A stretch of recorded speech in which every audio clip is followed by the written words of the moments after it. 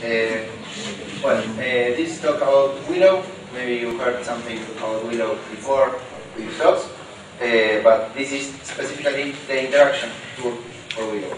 So if you were here, or not here, but at the previous models, we will just give a quick recap and then we'll move to some new stuff. If there's something you don't understand, of course you can find me at, at the breaks, but know that there are uh, online videos, tutorials and stuff that, that you can access to know what comes before this talk. Okay? So let's begin. Okay, so I'm Maximiliano Tabacman, maybe you heard before. Uh, small since I started working at Mercap in, like, in years ago or more. Uh, now I have my uh, computer science PhD from the University of Buenos Aires, uh, sharing the co-director with Christian, as we told yesterday. You can find me there, um, the GitHub user, my name. You need to contact me later. So let's begin. So we'll see an introduction, the components, interaction affordances, you'll know what that means later, some real-life examples, some complex interactions, and the conclusion. So first, uh, so what is Willow? Uh, Willow is a web interaction library, okay? The idea is that with Willow, creating web-based applications, mainly Ajax-based web applications, so single-page applications, uh, keeping uh, most of the website the same and changing just the, the, the needing smaller parts is something easy to do. Of course, from uh, the commodity of your small environment. So it's conformed by an ecosystem with specific integrations. There's the Willow project. They are all, I will uh, that but Willow is open source. It's available on GitHub and it's more than one project, uh, a family of projects. There's Willow, Willow Bootstrap, Willow jQuery UI, Willow Semantic UI, Willow Mixpanel. Uh, they give uh, additional like affordances to the to the base product. So why do we want to use Willow? Okay, uh, the idea is that we want to stay in Smalltalk. We want to do things uh, the way we we are used to, without having to get into the complications of, uh, everything that uh, JavaScript may require of us. And with Smalltalk, we can learn JavaScript, enough JavaScript to then keep talking in Smalltalk to, to the environment. So maybe you want to write stuff like this. This is taken from a real question on the Seaside uh, list.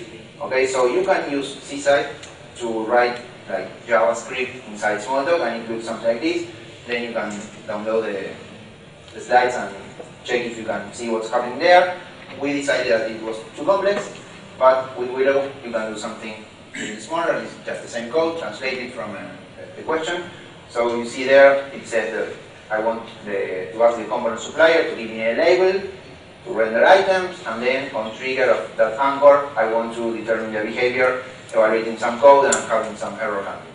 So we decided that we like that better. Um, there are a lot of features, some were shown in the previous talk, so you have ready-to-use components uh, that um, directly handle all the, the complexity of the Ajax codes, the HTML codes. You have some uh, front-end integration with different products. Like we said, have, if you download just the base Willow uh, project, you get plain HTML5 but you can download Willow Bootstrap and use create Bootstrap applications, semantic UI, jQuery UI. Uh, we have some other projects in the work, but these are quite finished and most have like, I don't know, kind of 100% test coverage. Um, and of course, it's compatible. This is built on top of Seaside, uh, but we have added in the last year some extensions to Seaside objects so you can mix and match maybe if you don't want to use all the, the Willow uh, components. So the components are fields, um, selection with checkbox, listbox, everything comes uh, ready to, to use. Input like buttons, links, containers, tables, grids. We have even uh, table builders and dialog builders and panel builders, so you can you, you don't even have to know how to build things the, the, object in Willow we even provided with builders for the Willow object. Uh, also images, labels, navigation, and this advanced component that you can also check in the previous uh, presentation. So now let's dive into the interaction process. The idea is that with Willow, creating interaction of uh, Ajax-based uh, applications is easy. So basically, every Willow component, like a button, a field, a drop-down, will have the on-trigger uh, message. So if you want to configure the interaction of an object, say, okay, know this button on trigger, and then something. So for simple client execution, I can say button on trigger, execute something on the client, and write just some Seaside uh, code to do an alert. Okay, you click the button, and it says hi. But we wrote that in small. And uh, what you will see in the browser is that um, the JavaScript event is added to in the DOM to, to, the, to the DOM. So just alert hi. That translates to that in, in your browser. Okay, if you want to use server evaluation, just the same button and trigger, evaluate, and whatever you need to, to execute on the, on the server.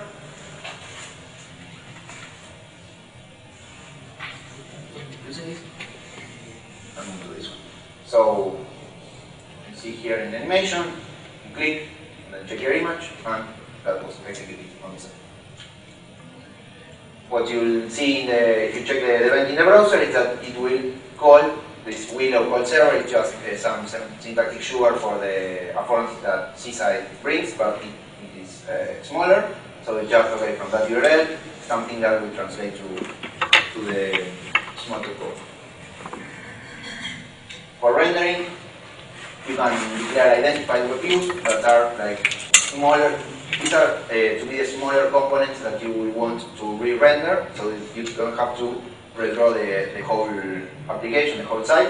Uh, give the name, you say there for, for a span, and for example, in that example, you say I want to uh, do some uh, bold presentation of the current time. And then I just tell the button that on trigger, I want it to re to re-render the, that, that identified view, which is just the fact that you will click on a button and the time will be updated. But if you check the um, this, the, the, web application, you see that the only thing that changes is that small part of the, of the whole HTML. A little more complex there, you see that's the call to the server, and you can then check that the response is uh, that's giving the, the updated value. Another interesting concept is the data serialization that's provided by Seaside. That's when you need to tell the um, the client that you will want the updated values on the server since we are not submitting the whole page. Maybe you say, okay, I want this field or this component to send the updated value in the HTML to the server. So you have some message like serialize it for a single component, serialize with hidden inputs for the, some Seaside requirements, or just declare a form and tell a button to serialize the whole form, or maybe the container form, which is in the example. Okay, so this example for serialization would tell the button to serialize its container form. Let's suppose there are many fields and a button inside the form. And after that, we want to disable the, the button and do something with the, with the information from the fields. See the example there. We enter a question. Click the button that's within the form and that disables the button and when you go to the server you have information that you can then send back to the client. Okay? The response material. Uh, this is the kind of code that you will see. Okay, you see there's a serialization there. Check it.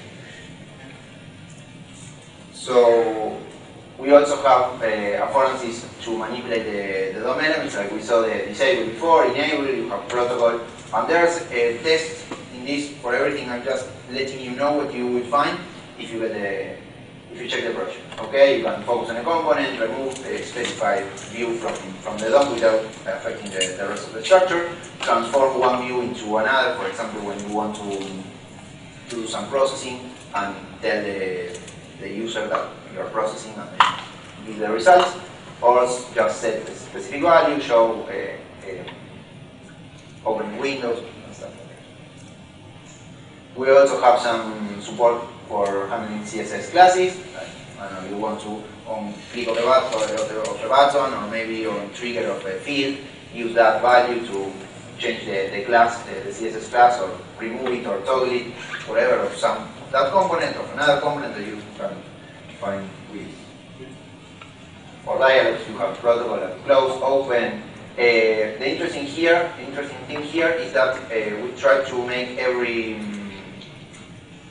um, every side project like Semantic UI and jQuery UI, Bootstrap, uh, to handle the same protocol. So you can write that more, maybe uh, was more the focus of the previous talk, but um, that thing that we saw at the beginning where you say, I want to a component, I want a button from the component supplier, say, okay, set component supplier, button, field, or whatever, uh, that will automatically do whatever is needed depending on the uh, project that you have loaded. So if you have loaded Bootstrap, it will give you a nice Bootstrap button with all the required uh, HTML structure. Uh, and the same for the dialog. You can keep your code and say, okay, open this dialog, and it doesn't matter what you are using, you can then change you are using specific Bootstrap features, of course, you to um, so, open the dialog. So now, so you know how we are using it, uh, these examples that we'll see are a little more advanced maybe, but they are really used in the, in the products that we are building using Willow. So for example, you can combine some interactions, you can say, okay, we have a toolbar, uh, and on the trigger specified for the run selected test, we want to transform the test result, which is a component, into this uh, like working, bouncing image, evaluate uh, the code that says, okay, run the, the test on the session, and then give me the results.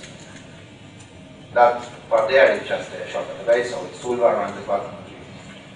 But since this is the real example, we wanted to, to show you about So this is basically what's shown there.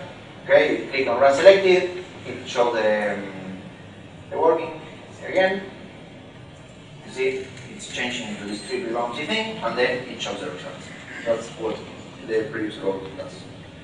For opening dialog, you can tell the component supplier that you want a, a button, uh, some styling uh, with the CSS class, and then you call uh, the trigger and say, okay, for the detail sign I want to open a dialog which is basically the button there, which opens a Okay?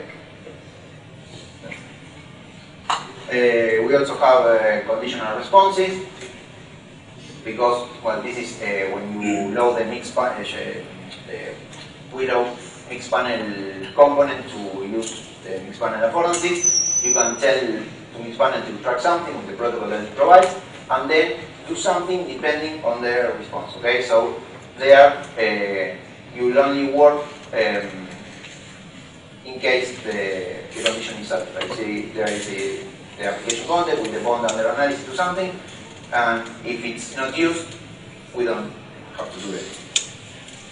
So here, you see that if we click on the analyze button, nothing happened because there was no, no bond under analysis.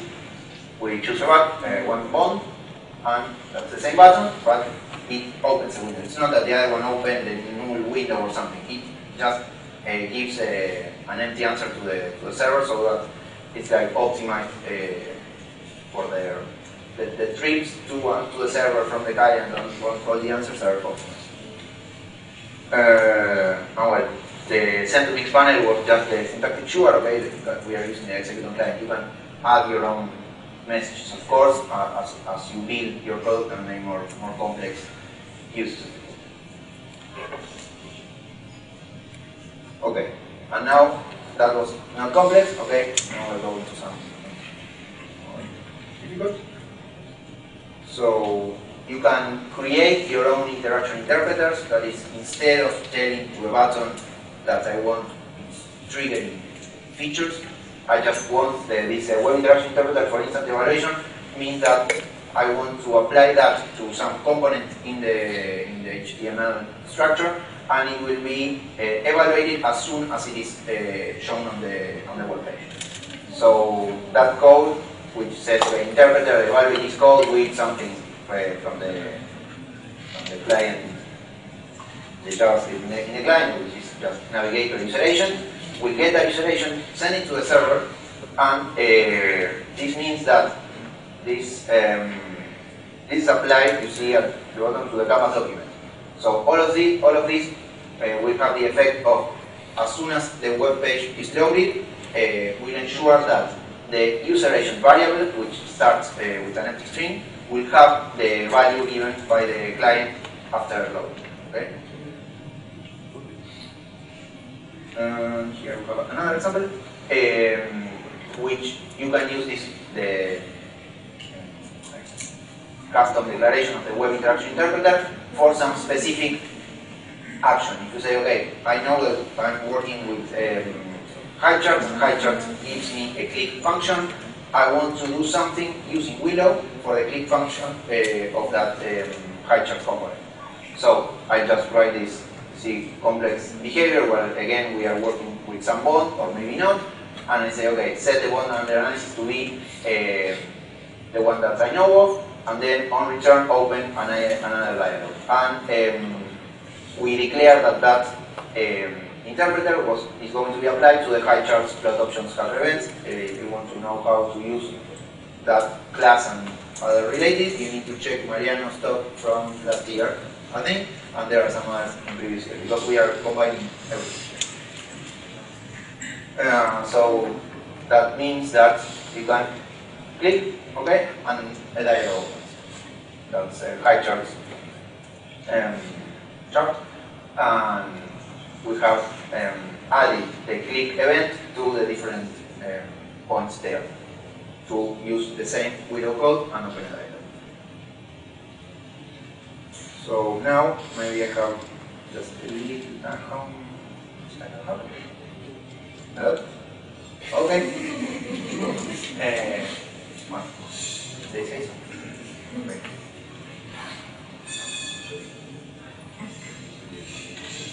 I don't know how do I change uh, tabs.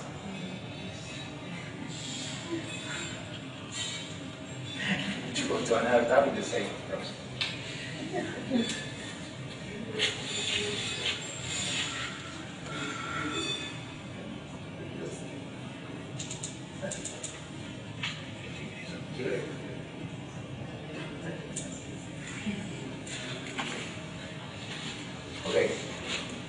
So uh, I'm running um, a Pharo application with the, the, playground code loaded, and this is what uh, you can see in the previous talk. Okay, uh, this is just a Willow-based test runner.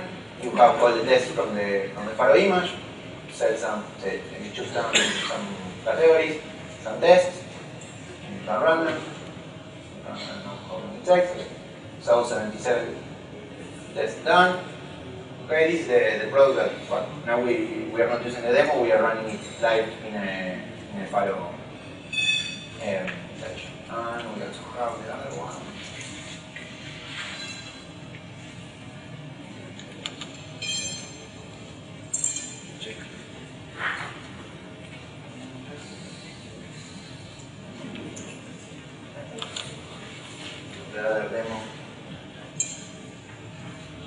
Idea with this was that anyone who was interested in, in Willow can load the, can get this from, from GitHub and check how to do a, a complete application. So here you have all the classes in the, in the image. Choose one and you get to see statistics and, and information from, from it. This is all done in Willow and you can also open the browser, but that's another computer so you can, you can check. And the other thing that we are doing with Willow that I can show you is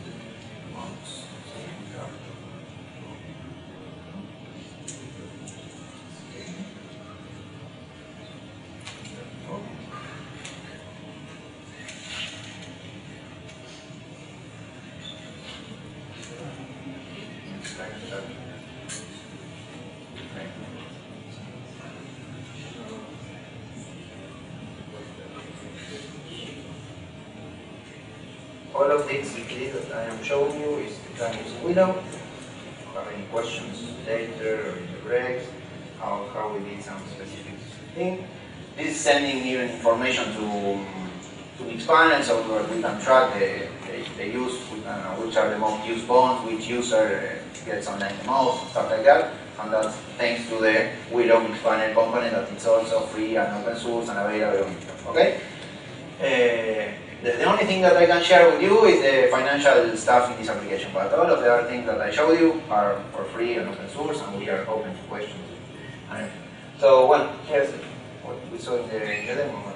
Basically, so on, analyzing questions.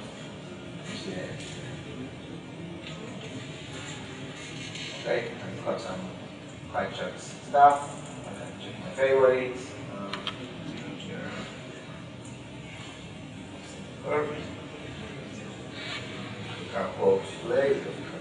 Daily. See? So we have the bonds. All of this, well, this is using the, the HighCharts project that Mariano showed us here. Uh, well, it's integrated with Willow. Is using Willow Bootstrap and Willow Mixpanel. Um, and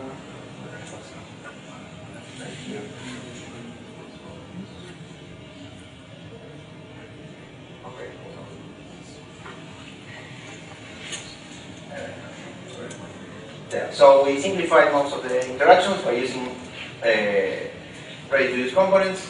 Once the, of course, the people at Mercap start knowing about these components, it's quite easier to, to work uh, everyone on the, on the same page. Uh, it's Seaside compatible, so if you have something that uh, you see a Seaside example in Sagor or want to use it, there, there are ways of combining it. And then once you understand how to do it in Seaside, of course, you can start extracting stuff and, and, and it to, to get it into Willow. Uh, there are advanced components available. As you have seen, we have know, like four, three, four commercial applications working with Willow, with customers. Happy? Or if they are not happy, it's not because of Willow, of course.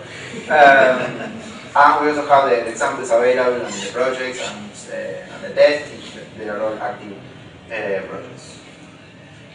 And so, thanks to Gary Cotelli, uh, holding the back at but he is the one who improved most of the, the quality of what you see, and he's pushing for the, the, the content, the, the, quality of the content that you see if you check the project on, on GitHub, the documentation and, and the test, it also has uh, Travis automatic integration and continuous integration, and everything that GitHub has to offer is done for Willow, and that's basically thanks to, to, to Gavin.